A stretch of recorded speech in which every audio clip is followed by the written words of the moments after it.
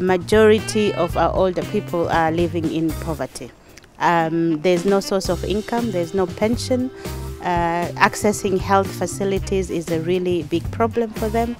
So, and that also gives them, them themselves as older people, but also their families into deeper, deeper into the poverty. So, in case if we don't uh, end poverty in this generation, that means it will continue in the generation after and after, and whatever we are doing will not make any any, any sense.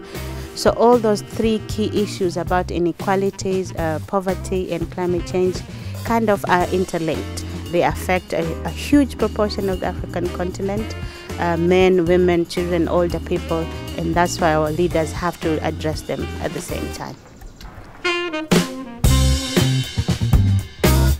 Thank you.